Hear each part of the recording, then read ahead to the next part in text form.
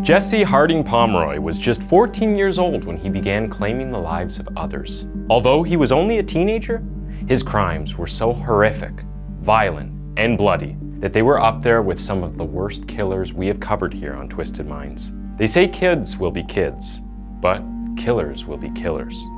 Welcome to Twisted Minds. My name is James, and today we take a look at the case of Jesse Pomeroy, the youngest serial killer in American history, who was dubbed the Boston Boy Fiend.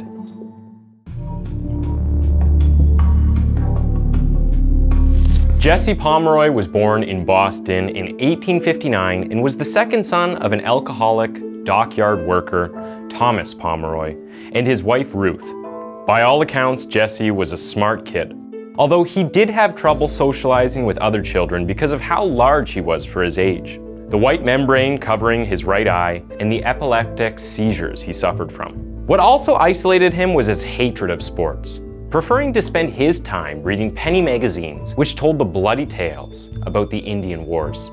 In fact, when he did play with other kids, it was often a game called Scouts and Indians, where he would opt to be an Indian to reenact the numerous torture techniques of the day. In the 1800s, was this not seen as a red flag?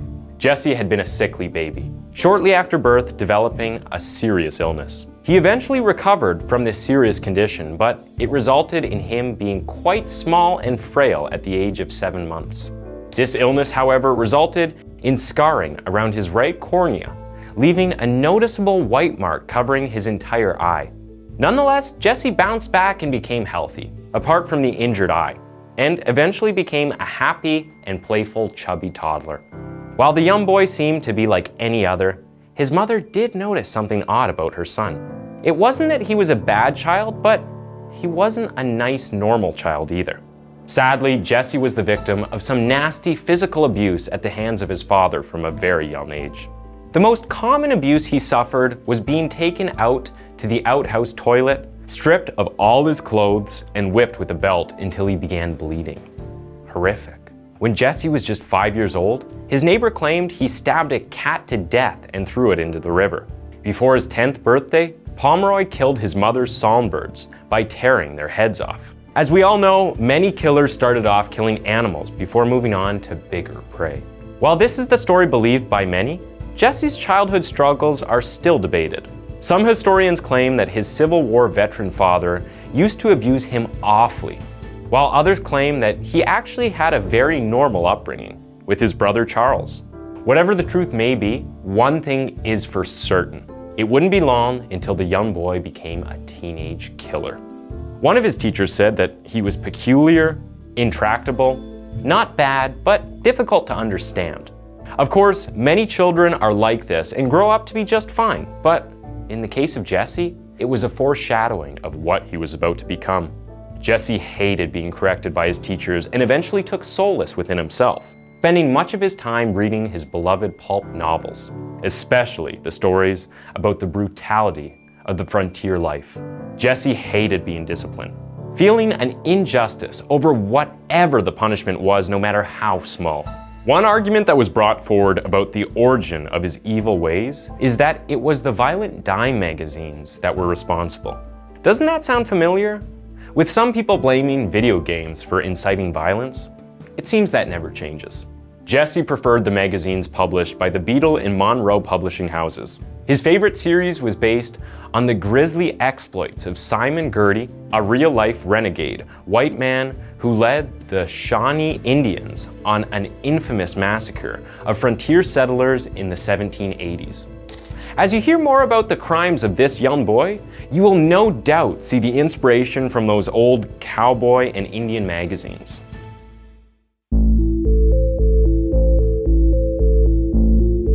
Although Jesse would go on to take two lives, those poor souls were not the only ones to be mistreated by the 12-year-old. The first crime committed by Jesse Pomeroy happened on December 22, 1871, when the young son of Mrs. Payne was persuaded to come with the 12-year-old Jesse to a place called Powder Hill near Boston. There, the little boy was stripped naked, tied to a beam, and beaten with rope until he passed out.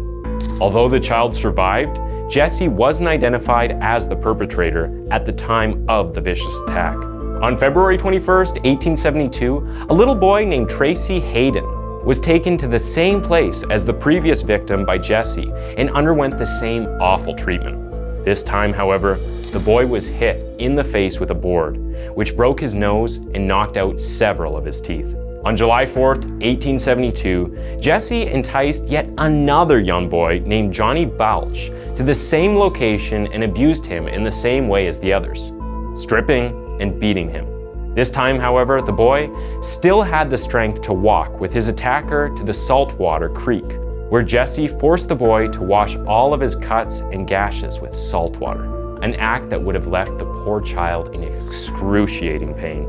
In September of the same year, another young child named Robert Gould was led to the Hartford and Erie Railroad track, where he was tied to a telegraph pole, stripped naked, beaten to an inch of his life, and cut on his head with a sharp blade. Like the other boys, Robert managed to survive the ordeal. A few days after that, little Harry Austin was approached by Jesse and was stripped naked, tied up, and stabbed with pins until he passed out. Jesse, who was out of control, only waited a few more days after that to attack his sixth victim, George Pratt. This time he persuaded the boy to follow him into the cabin of a yacht and bound, stripped, and beat the boy. Afterward, he stabbed him in the back and groin with a penknife. Despite the treatment, the poor boy survived the attack. Just under a week later, a young boy called Joseph Kennedy was lured to a secluded spot on Old Colony Road, South Boston. Once again, the child was mistreated in the same way as George Pratt and also managed to survive. At the time of the crimes, many boys were arrested on suspicion of committing these vile crimes. Eventually, attention fell upon a boy named Jesse Pomeroy, a 12 year old living with his mother, who was a poor dressmaker.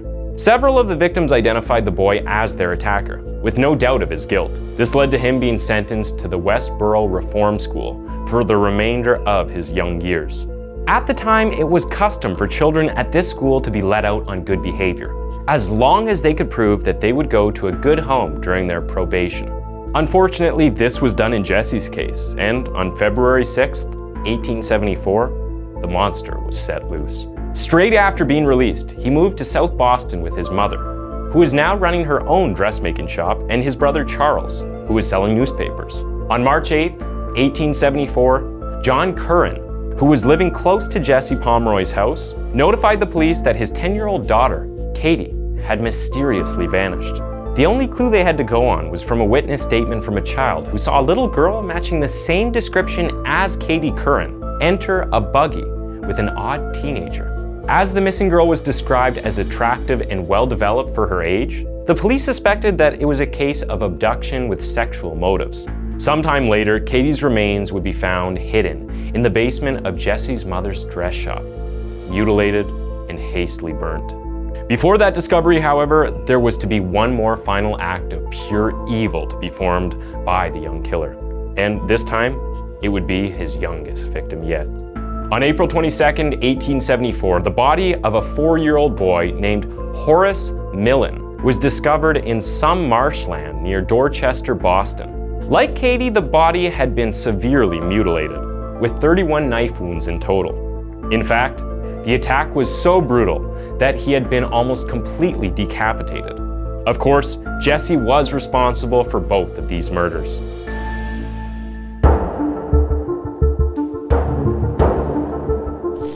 So, what made Jesse the way he was? Well, some believe that it was his early exposure to violence, fueled by life events, that made him the killer he was. This brings up the time old question Are there some people who are just born to kill? There is actually a lot of evidence suggesting that some people have a genetic disposition to aggression, which, combined with unfortunate life issues, create killers like Jesse. After everything he did, there is no question that Jesse was a sadist. While being a sadist is bad enough, Jesse was more likely a psychopath. Often people who are psychopaths have a desire to hurt others and don't feel empathy or compassion toward other people. They are also willing to put their own lives at risk to achieve pleasure, like abducting young boys and tying them up in places that anyone could walk in on at any moment. Although psychologists are hesitant to diagnose a child or young adult who commits these kinds of depraved crimes as psychopaths, they have found a pattern that falls under the same umbrella of disorders. These include having a God complex, being cruel toward both humans and animals, a lack of empathy and remorse, avoiding making friends, and being a prolific liar. Excluding Katie Curran, whose murder was a crime of opportunity, Jesse preyed upon boys who were on their own and were aged between 4 to 8 years old.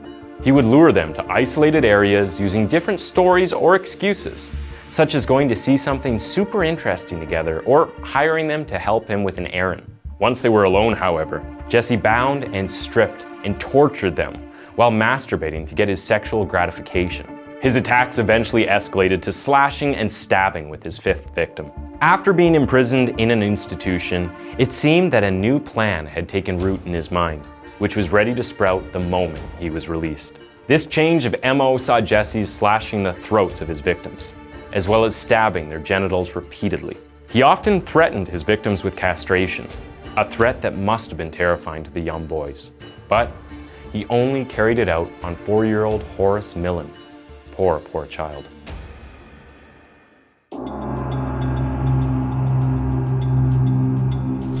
With the bloody past of Jesse Pomeroy, the police naturally suspected him of Horace's murder and took him into custody. During the search, a knife with blood on the handle was found. Also, his shoes were covered in mud that was similar to the mud found in the marshlands. This led to the police going to the marsh and finding footprints in the mud. Footprints that they made plaster casts of to not only match the same shoes as Jesse, but also the way he planted his feet when walking. There were also witnesses and other little pieces of evidence on and around the body that pointed the finger at Jesse Pomeroy. During an interview involving Jesse and an officer, the officer asked if he knew the boy. To which Jesse replied, Yes, sir. The officer then asked if he had killed him, to which Jesse replied, I suppose I did. Finally, he was asked how there was blood on the handle, while the blade was still completely free of any blood. Jesse told him, I stuck it in the mud. Following the confession, the police deduced that the boy was perfectly sane, but was a fiend who got pleasure from torturing those younger than himself. You have to remember that this was almost 150 years ago, when psychological study was in its infancy. They also deduced that he chose children only because he had the physical ability to force them to do what he wanted, and because he could overpower them because of his size. Now, do you remember when I told you about the discovery of 10-year-old Katie's body? Well, in July of the same year, Mrs. Pomeroy's landlord sold the property where she was living and working, and the new owner decided to make some improvements. Laborers began to excavate the cellar, and at about 5 p.m. on July 18th, they discovered the badly decomposed remains of a little girl buried under a pile of ashes and stone. Among those who viewed the remains were Katie's own parents, although all features were unrecognizable. They did manage to identify her, however, through the clothes she was wearing. Jesse instantly admitted that it was he who killed the young girl, after hearing that his mother Ruth and brother Charles were being arrested as accomplices to the murder. This changed everything, as although Jesse was standing trial for Horace Millen's murder and not Katie's, the new development led to his lawyers dropping the innocent plea and instead claimed innocence through reason of insanity. The jury wasn't convinced, and in February 1875, Jesse Pomeroy was found guilty of Horace Millen's murder and was sentenced to die by hanging, the only penalty for this charge at the time.